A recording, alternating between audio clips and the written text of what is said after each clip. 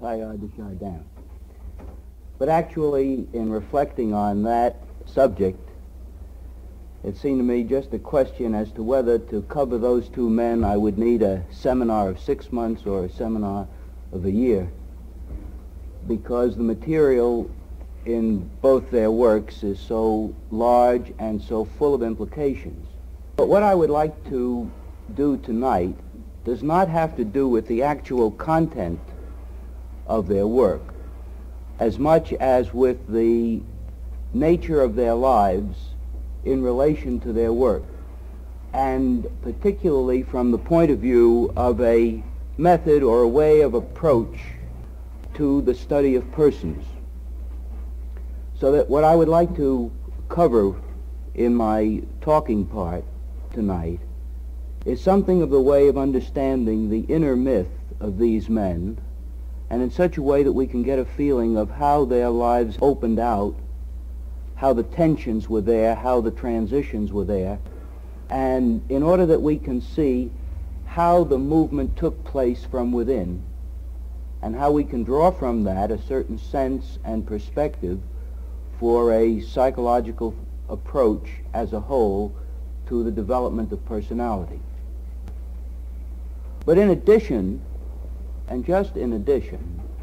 that we would be able to see in this not only their personal development, but how it is that apparently in the development of persons there is a kind of overlay. That as an individual lives out his private life and develops the possibilities of his own personality, but in doing that, he also lives out certain social or historical facts, certain social developments, and expresses certain social factors in his life. And then beyond that, lives out something through his personal life that is even more than personal, that is transpersonal in the sense that what a person achieves in his individual life seems to have an effect for the society as a whole and in some way for man as a whole. That is to say, it's as though a person lives out a kind of destiny through his private or his personal mm-hmm. life that is a carrier of something that has a meaning beyond his own private destiny. And that makes certain individuals of particular significance. It makes them, I think, in one sense, that both Teilhard and, and C.G. Jung can be called particularly modern men that is to say, they're modern men not only in the sense that they happen to live in this modern period of history, but they are modern men in the special sense that the problems that express the quality of modern existence, the questions of science, and the questions where traditional religion have come into conflict and into doubt, that this area of question that is peculiarly a question and a problem for modern Western civilization was lived out really at the core of their lives and became for both of them, both Jung and Teilhard de Chardin, this kind of special modern question became a very intimate personal problem, an intimate personal question for them.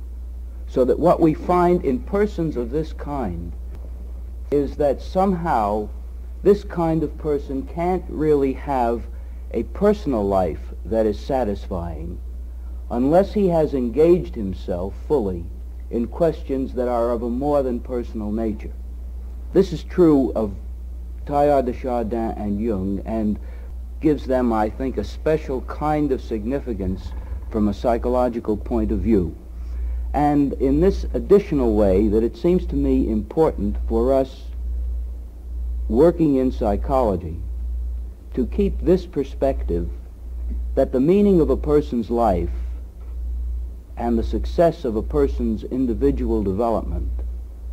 is not merely a question of how harmonious or how successful he can make his life in relation to his immediate environment. And within the specific bounds of his life, that is the conception in much of the psychotherapy we're accustomed to, is that if we can make a person able to function and to be reasonably socially successful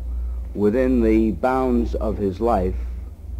that this is a satisfactory and sufficient measure.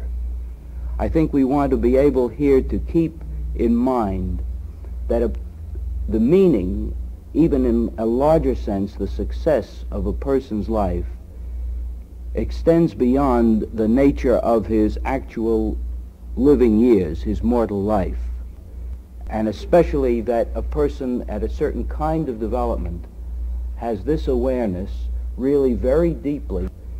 working in the nature of his life. This is something we'd find in both Jung and Chardin. I want to make, before we begin to talk about them, though, a few remarks about the overarching conception of studying individuals in terms of transitions. I think there's one basic point to see about the nature of human beings as contrasted to all the rest of the species in evolution. And this is that all the other species in the world of nature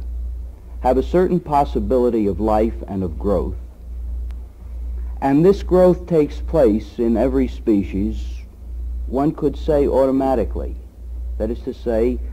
each animal species fulfills its possibility and does the things that are native and instinctive to it insofar as its life development grows and it fulfills itself. But in the human species, we see that the process of growth that would fulfill the possibilities of the individual is not automatic. In the human species, it depends upon a particular experience in the individual. And this is specifically what has been called, eh, when we study primitive cultures, has been called initiation experience. That is to say that the development of the possibilities of an individual depends on some particular experience that comes to him that enables him to experience his own individuality in a particular and personal way. Before such an experience happens, it's as though he's just part of the world and life is not specific and has no identity for him. When that experience happens, and it may be that not one experience is enough, but when that experience happens, then it is that the things that have happened in the world to him, events that happen to the individual, are no longer just events that happen to which he reacts, but then it's as though outer experience comes into him and he has a sense of his own identity then as a specific force, a specific kind of transforming force, so that what comes into the individual's life then goes out of him with his particular stamp upon it. And as he becomes aware that of the nature of this stamp, and even if he's not aware of the nature of it, as he's aware of the fact that it is there, that his being transforms events that have happened to him, and that life goes out of him in a different way than in it came. When he has that experience, he has the sense that he exists, and that from that point on, his life has a meaning in the very particular way that his life has a meaning that is continuing and is opening out because his identity, his existence, begins to make that possible. Now, therefore, it seems to me that in studying the life of persons who can be called creative persons, and I should say that what I understand by that phrase is not that necessarily that a person has done things that are famous in the world, but rather a person whose life contains a great deal of experience a person whose life has in it first this quality of experience,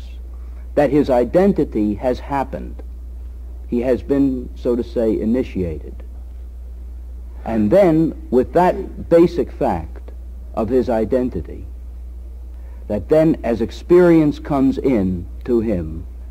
and goes out again transformed with the ever-growing, the ever-enlarging quality of his identity.